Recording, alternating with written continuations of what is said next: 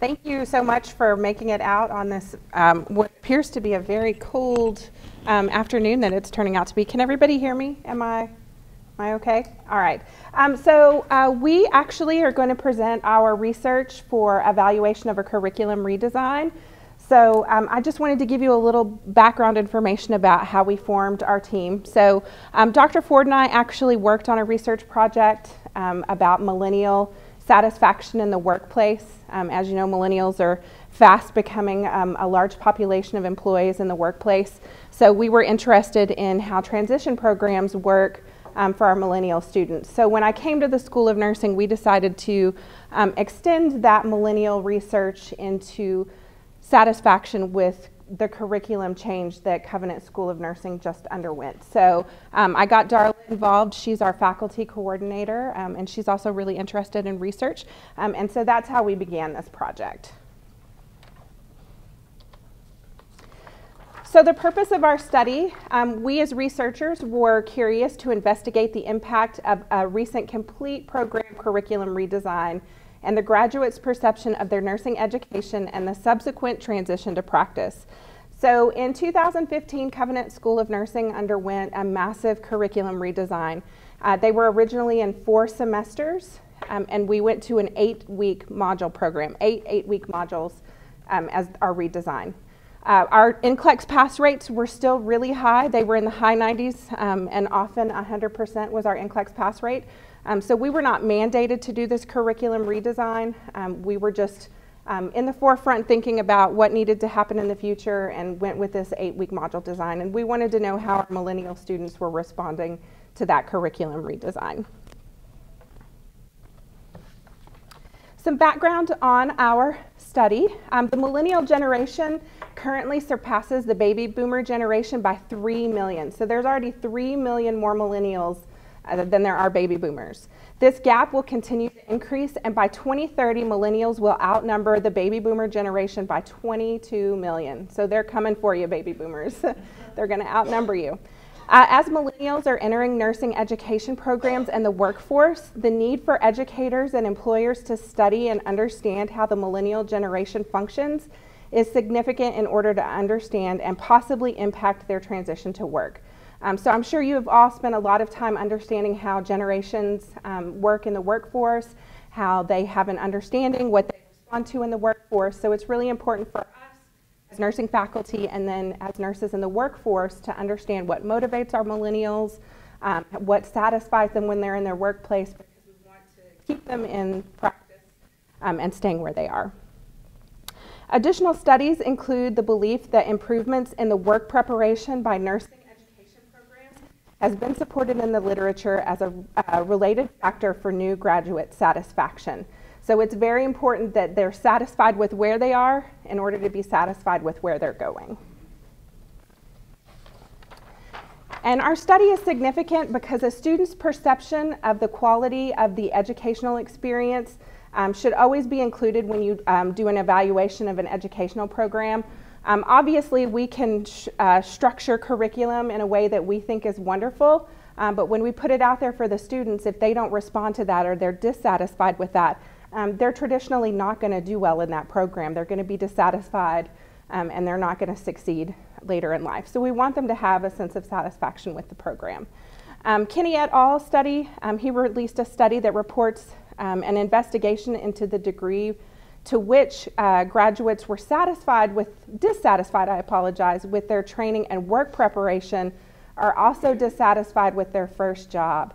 Um, so what this means is that if a student is dissatisfied with their nursing preparation, so uh, what they get from us in curriculum, they carry that dis dissatisfaction with them to the workplace. Um, we're basically their first introduction into nursing. So if they are dissatisfied with the way that we present that information or in the way that the curriculum is, is branded out to them, it in turn makes them dissatisfied with nursing as a profession and as a whole. Um, so we often see that if they're dissatisfied once they transition into practice, they're more likely to leave their first job, and then in turn, they're also more likely to leave nursing because they started dissatisfied, and that dissatisfaction then just carries it through. No, I'm just using the uh, keyboard. The keyboard.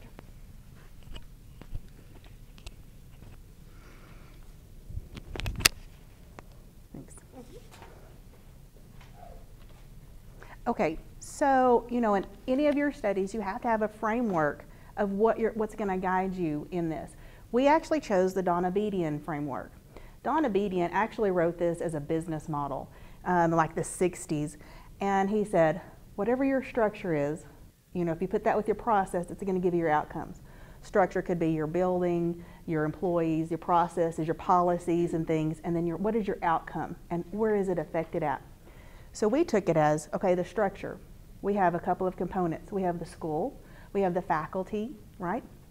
And then our process is actually our curriculum, what the faculty have deemed are activities that encourage learning, okay? So that's going to affect what? Your outcome, right? So when we look at that, we're going to see how satisfied were the students with our facilities, our resources, our faculty, and what they gave them as far as that. Um, and so that's our focus of our study was the outcome of that. And the outcome also has um, our NCLEX pass rates. That's one of the things that we look at. How do we identify? What do we use for data in there? Also our employment rates. How many are employed after you know a certain amount of time after they graduate? This curriculum redesign actually happened and we implemented it in the fall of 2015 but our students didn't start graduating until 2017. So see, it takes a little bit of time to kind of start getting them in there. And that's the students that we looked at in our study. So we looked at the students from September of 2017 through February of 2019. And they graduate, we graduate four times a year. So we had several different uh, cohorts in there that we were looking at, which had a variety of students, um, a variety, uh, we had demographics and age differences and everything in there. So we had to get IRB approval from um, Covenant, uh, Providence St. Joseph. Uh, that was a learning curve. we, had, we had to write in our protocol exactly the steps on what we were going to do and how we were going to do it. It's like a recipe. You had to write each, each separate thing down. We finally did obtain our IRB approval, and then we could start looking at it. Um, so our data collection started in the spring of 2019 and we looked at, like I said, our graduates. We sent them emails in there. And it was just a convenient sample that was in there. We were actually just doing a descriptive correlational study to see is there a correlation between nursing student satisfaction and them going on and getting a higher education, staying in nursing. We wanted to see are still people still in nursing in there. And we actually came up with or found this tool. So we have our method, but we had to find a tool to use. Now, we are not working on our PhD, we're doing a study. So we had to find a tool that had already been validated. So we found the Nursing Student Satisfaction Scale by Dr. Chen. She actually has two tools, one for associate degree programs and one for baccalaureate degree programs. So of course, ours is similar to an associate degree, so that's the scale that we asked for. So after reading all of, about her scale, here's how she designed it. She said, similar to our Donabedian model, you have the student satisfaction in the middle. You have the environment, the, the school, the resources, the faculty that are in there, and also the social interaction. How do they interact with the nurses in the floor, in the clinical setting, in different places? All that fit right in with our model. And so that's why we use this nursing student satisfaction tool. Dr. Chen also found that most of the tools that we had available weren't focused on nursing and they were outdated. They're from the 70s and 80s. So her team designed the nursing student satisfaction tool, and it originally started with, I believe, like 42 questions. And after they ran it uh, through some testing and validation, they took it down, it was 30 questions. Okay? Now we took it a little step further. We, of course, added some demographic questions in there, but we did have a fourth section. We wanted to see did it make a difference on the millennials in there? So we did add two additional questions in there, so it made ours a 40 question um, survey in there after some of the demographic. Some of the demographic we did include, you know, when did you graduate? Um, what was your GPA? Um, what was your, how many hours a week did you study on average? Um, we didn't put, let's see, we put race in there. And, oh, age group, that was our big one because we wanted to study the millennials, so we had to know when were you born?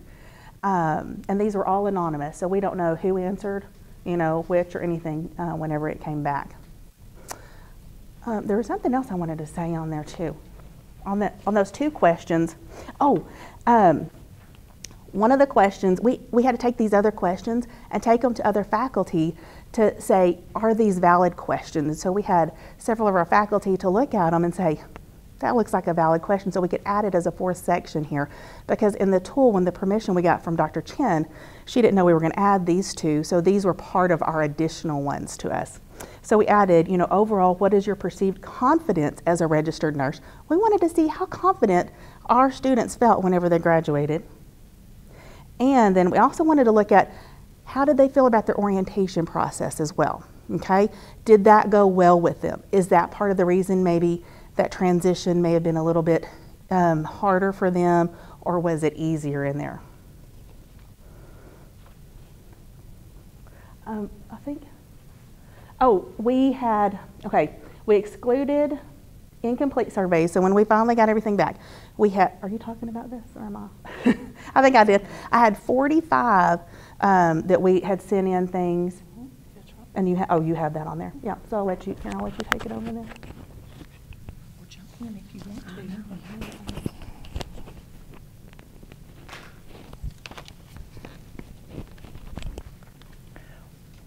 So what I want to actually tell you that this is actually phase one. When we did this study, we didn't get quite the amount of response rate that we would like. Right now, we're at about a 17% response rate. So you can see that we emailed the survey to 228, and then we had to delete a few because there was one that did not wish to participate, and six did not complete the survey. So we're, we're not, we wanted to present, we presented this in Calgary in the summer, so we wanted to present the initial results, but we also together decided that we wanted to go back to the IRB and do an addendum, and we're going to use another method for data collection because we would like it to be stronger. Right now, we have about three to six participants per cohort, and we would like to get that up closer to around 15 participants per cohort to make our statistical analysis stronger. The initial results are positive. If you look at, let me see here, this is the demographic slide, and you see that 94% were reporting that they went on to a BSN program. Isn't that exciting? And then our millennials were our greatest responding group at 78.9, almost 80%. So that's, that's a positive. Let's go to the next slide, Dar- uh, Kim. Thank you. So this just brings to really the, what the next slide is, is what is very satisfied, satisfied, somewhat satisfied. So you see we're at 40% very satisfied, confidence at graduation level, and then we have uh, 21, that's a satisfied. So if you put the satisfied and the very satisfied together, that's at a 71% very positive. Go to the next one. This is the one I really wanted to show you. Um, let me see my slide. Where's the one? Maybe it was on that. Go back. Maybe it was on that previous one. Sorry. And then one more. Let's go forward now. I'm not seeing the slide that I wanted to talk to them about. One more. That's a student. Go back. The words, I'm so sorry. There's a slide that I have that I was going to talk to you about, and it's got the standard deviation on it. And what I wanted to say to you is that the, the highest number on the scale was six, and all of the results of the scale were greater than five. So we have a positive result on all of those criteria of the questions that we had asked. And we have a small sample size. So what we would really like to see is a larger sample size and see if that even gets stronger with the more participants that we have. But this is good. These are good results with what we have. We just want to make it stronger and we would have the ability to run more statistical analysis if we have a larger participant group. Does that make sense? All right.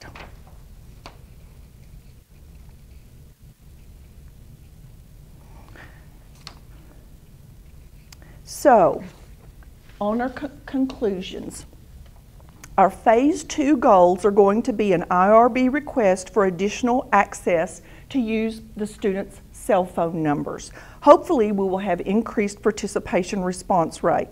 We would like to have 15 participants per cohort. So, like I said, here it is. The NSS Likert scale was a six is very satisfied and a one is not satisfied. And our criteria all were greater than five. So that's going to the satisfied side. That's positive. And so uh, it says our last bullet there more parametric and non parametric analysis can be conducted when we get a greater participant. Now, I shared with Darla and Kim that I knew I would have my graduate students here today. So I really wanted to spend a little bit of time. You have seen the process. You guys are living this right now. You saw what Kim presented. We got into the literature. What did we find? That a dissatisfaction with your nursing program can impact your attitude and your um, your experience of your really your first RN job. And one of the things that we were seeing is that particularly millennials were leaving their position within their first year of employment. So what we wanted to look at was this curriculum redesign promoting a positive entry into professional nursing. And Kim presented that beautifully through the literature and the evidence that we found because of that link. The other thing then you see then guys, what did we find? We found a conceptual framework that supported what was our evidence, what was our study that we wanted to do. And then the one I wanted to share with you is because I know you are all reading research articles right now, is what is the instrument or the tool that the researchers have used to get you to the data to answer your question? So we were very lucky to find Dr. Chen's tool because let me show you. Typically, what schools of nursing will look at is their NCLEX pass rate. They'll look at post graduation employment rates. They'll look at the traditional graduate surveys. That's typically what a school of nursing will do.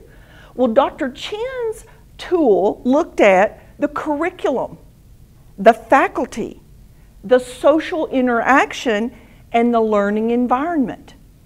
So, you see how those are a little bit different? And those variables that Dr. Chen had in her instrument were exactly what we were interested to look at. Covenant had a phenomenal NCLEX pass rate. That was not a prompting to do this study of the curriculum. But there were other outcomes that we felt we would find evidence for if we used a different instrument to measure those with the students that we sent the tool to. Does that make sense? Yeah. So phase two, moving forward right now, what we're doing is we're resubmitting an addendum to the IRB.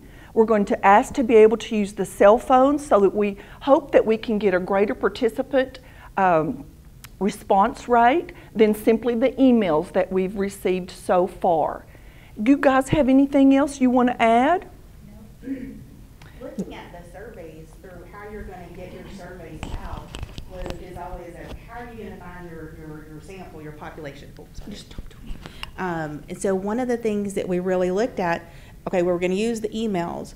not a lot of them bounced back, and so we did have their cell phone numbers. But then that's another um, area of, okay, how do we send out mass um, texts um, through that? So that's one of the things that we're looking at. How could we accomplish that? Maybe we'll come up with a way for everybody to start using you know, their cell phones as a way to send your surveys out. Getting your sample size up is always a way to look at, it makes it stronger. You can actually say, this really did work, this area here, this is what worked on it. I do actually, if I could add something. Thank you. Mm-hmm. Um, so Dr. Ford did discuss a lot about the importance of a tool, and I think when I was a student, I had a really hard hard time grasping why why would I use somebody else's tool? I know what I want to ask. Why can't I just write a question and ask a participant that question. Um, and the reason that we rely on other people's tools is because they test those tools.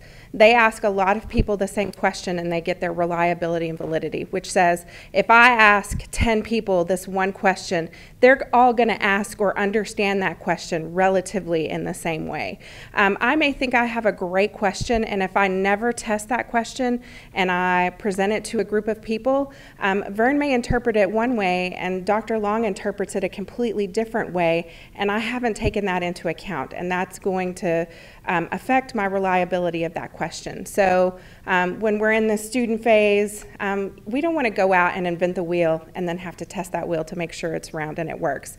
Um, it's better to go and find somebody else's wheel and use that instead of um, starting from scratch. So I just thought that was um, something I wanted to add. Do you want questions right now, Dr. Long, or do we want to let Dean Anger go? What-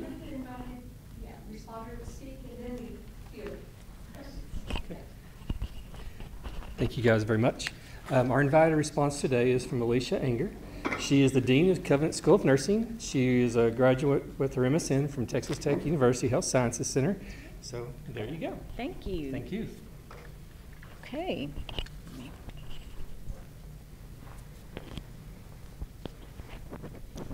If I can put this on. Okay, all right. Well, thank you for inviting me here today. Um, I was asked to come and speak about our uh, curriculum change and what prompted us. And um, really, they, uh, Kim and Darla and Dr. Ford, have all kind of briefly discussed some of the things that um, really uh, prompted us to changing our curriculum. they were right in that our um, school was doing really well at the time.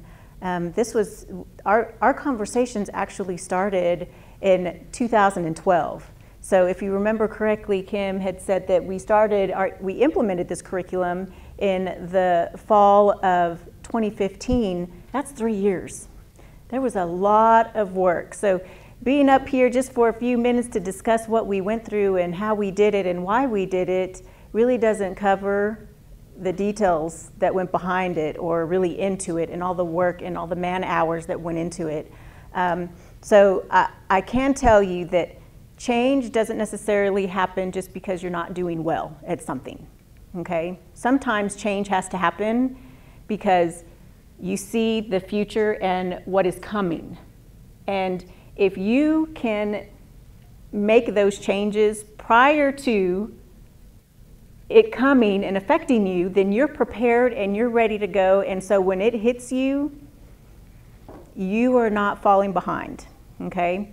So, what happened in 2012? Number one, I was going to a lot of conferences, a lot of meetings, um, state meetings. I was meeting with different groups of uh, nurses, deans, and directors, and I was learning a lot about nursing curriculum, more than I had ever known before.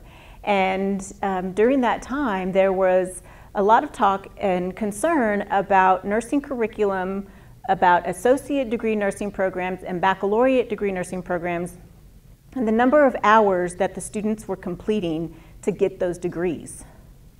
And what they found was that students were uh, completing far more than the required 120 hours for a bachelor's degree to get a bachelor's of science in nursing, and far more than 60 hours to get an associate's degree they were completing more than that to get an associate's degree in nursing.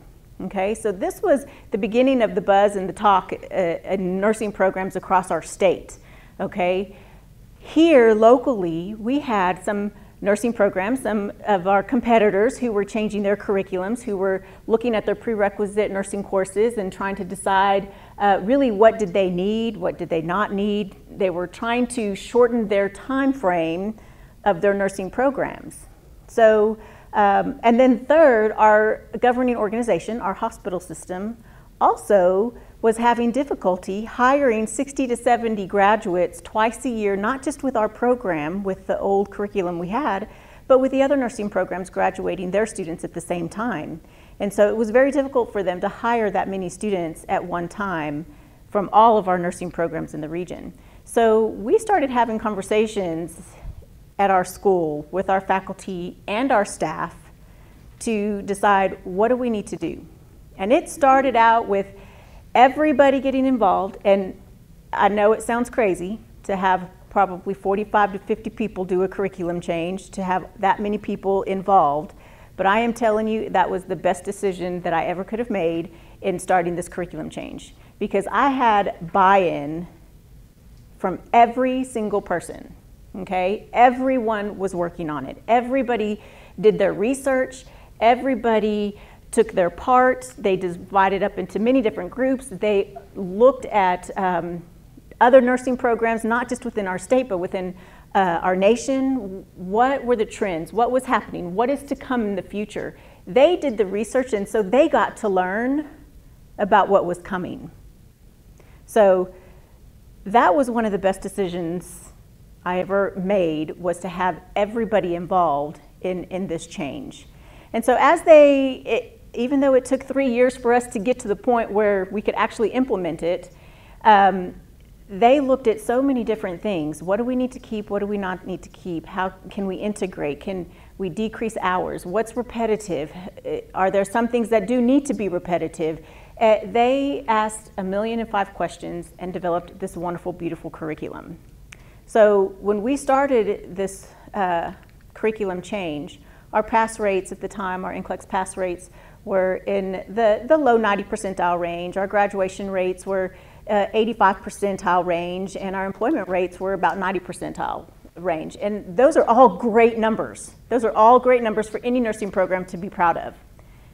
So when we went into this change, we know we knew at the time that change could actually initial change actually drops your outcomes. Okay, so we were expecting a drop in all three of these areas, and what we found by streamlining our curriculum, by honing in on those pieces that were really important in nursing practice today and for the future, we found that really the students were getting through the program much faster and quicker, okay? And they were learning, and they loved it. They loved the fast, quick pace. It was a little bit more difficult for us to keep up with, you know, the older faculties, the, you know, and I'm not including myself in that. But these younger kids, they are fast and quick and they want to get into the curriculums and they want to educate, they want to learn and they want to get it done and they want to move on with their lives. And that's exactly what happened. So they came into this curriculum and it was fast and quick. And the very first cohort we had was an amazing cohort that we had because they gave us feedback the entire time. Every module along the way, it, they gave us feedback about what we could improve and how we could make things better. And so it was really nice to have that cohort. We were very thankful to have that cohort. One of the biggest things that um, they talked about from one module to the next was the consistency in paperwork. Consistency in paperwork, which we were always so used to, just doing whatever paperwork we needed for whatever semester and assignments that we had. And what we found was that because this curriculum was so fast and so quick and it was moving quickly, that the change, the small changes that we didn't think anything about in a semester longer time frame curriculum made a huge difference in a very fast and quick paced curriculum. And so that was one thing that we worked again as a group, as a school, to decide on what's the paperwork that we're going to use for certain things such as nursing assessment. This is the same paperwork for medication administration. This is the same paperwork. We're going to use this throughout the entire curriculum. So, what we thought, even calendars, what calendars look like for each module or syllabi for each module, never mattered before, but it mattered in this fast, quick paced curriculum. So, um, as time has gone on, there have been more changes that have come about. And that's the thing about nursing, that's the thing about healthcare, and that's also this thing about um, nursing education, we kind of have to predict what's coming in the, in the future and what we're looking at. And we have to try to incorporate those new things into our education so that when our students graduate in two years, they're going to be ready to practice in two years. So we are always having to revise and update our curriculums and when, the feedback that we get from our students and from our communities of interest and our governing organization and the people that we work with is, is um, highly valuable to us. And so I'm really excited about where we are, what we're doing, and where we're headed because there are more changes to come and more things that we need to um, address in the near future. So this is really exciting as well too. I'm super excited about this study and I do hope that we are able to get more of our students to participate in this. So I'd like to talk to y'all about some more ideas on how maybe we can get some more of our graduates to want to participate in this as well too. So, because um, yeah, it'd be really great for the students to validate that this curriculum was a really good curriculum for them and they enjoyed it while they were here. So, is there anything else? Would you like me to share? No? Okay. You guys have any questions for us? Is there a certain timeframe that you're looking at handing out this questionnaire? Are you doing it right after graduation, or are you doing it after so many months that you're their first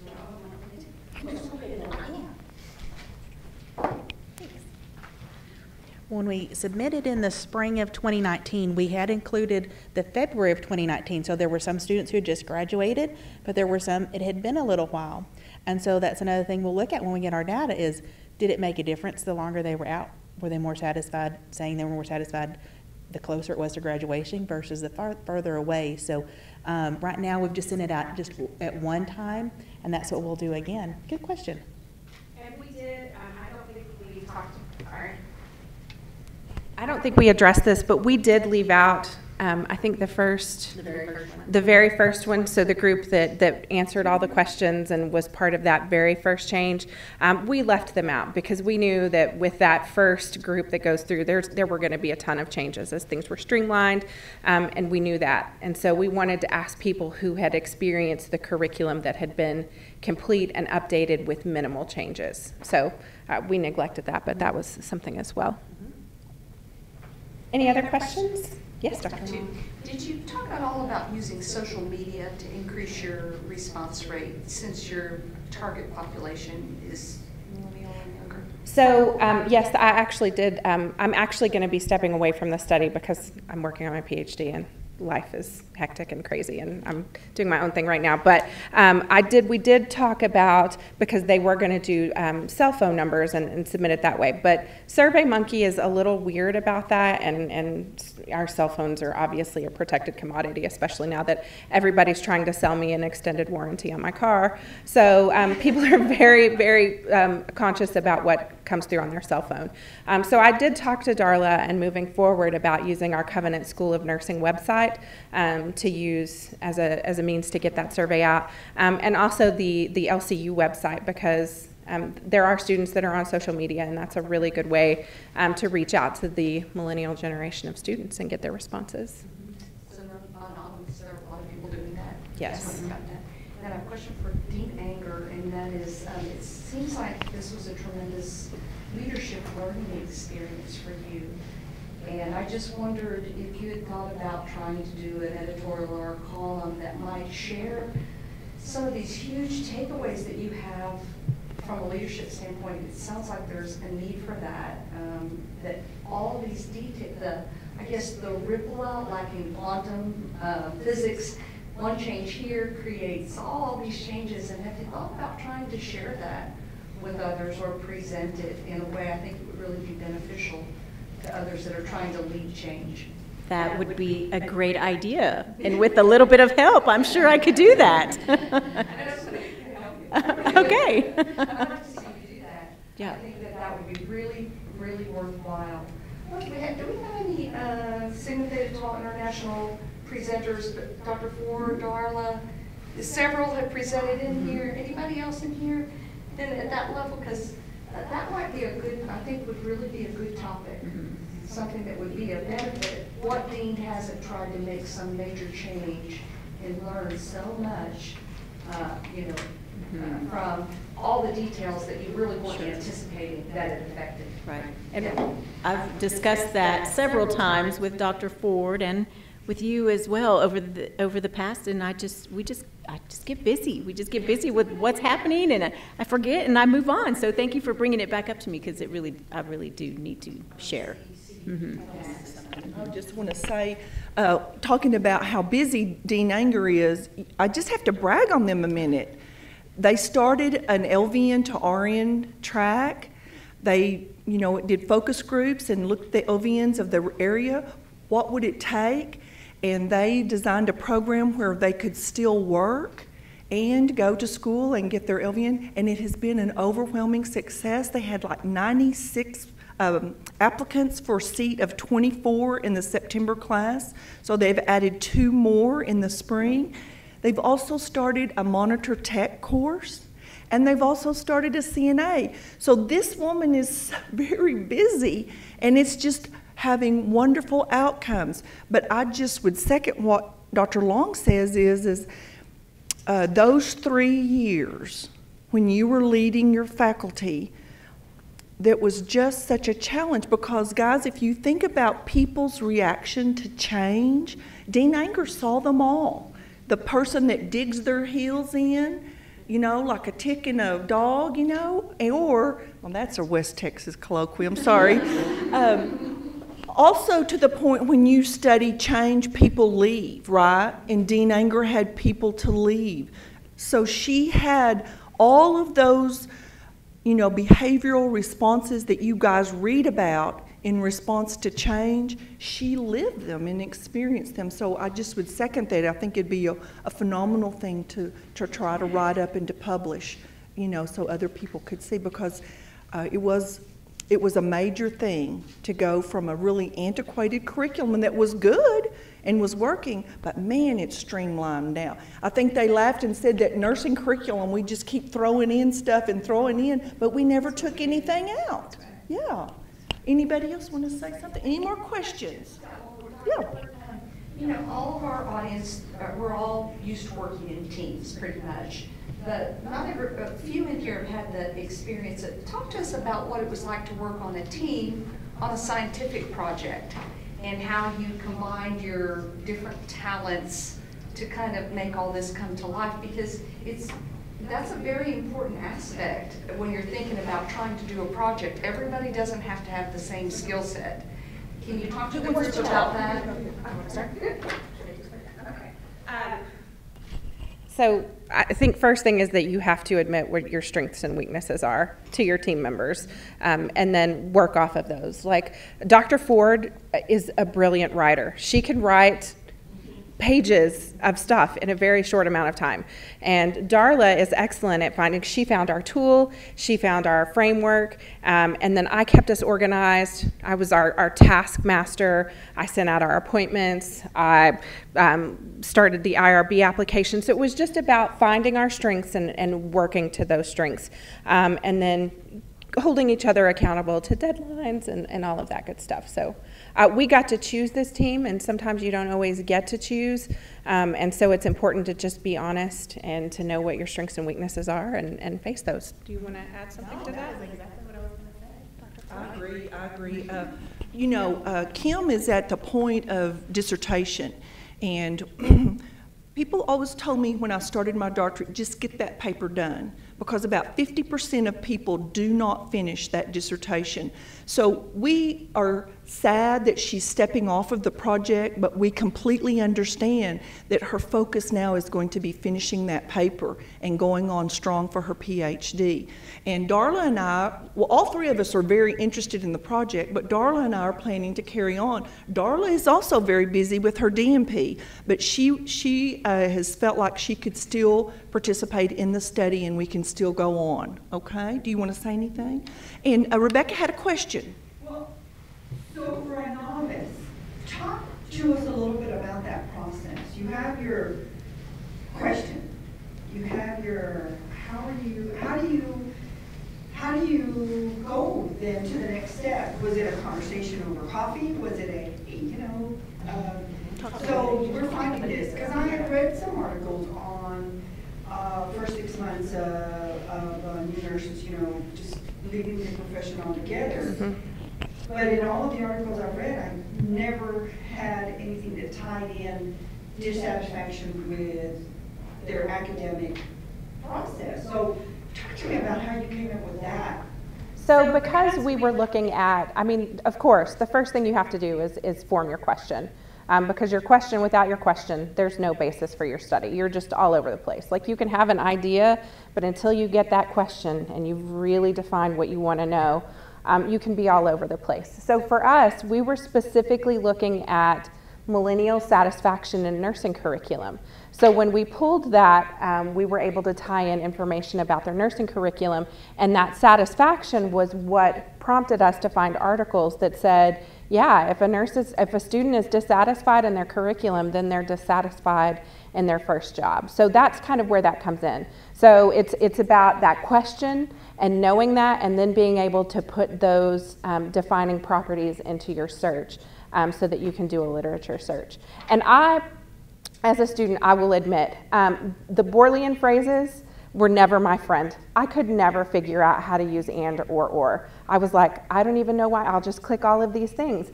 Um, but once I started um, really doing, like really delving into to doing literature searches, those things are my best friend now because you can, when you use and, it's I want to know this and this. So I want to look at nursing students and I want to look at satisfaction. And then that or helps you if you're like, I want to look at nursing students um, or I want to look at um, LVN graduates. That's not really what I'm looking at, but, but an example, um, and this phrase over here. So um, learning how to use those phrases will really help you. Um, and, and don't be afraid to look outside a little bit. So if you're looking at, at you know, your transition, um, don't be afraid to go back a little bit and look at, okay, well, were they satisfied here? And, and I think that helps as well. Yes, of course. I think that in research class we've talked to you about how uh, ideas or why there, there's trends in nursing and maybe they're not abo- uh, abundant in the nursing literature.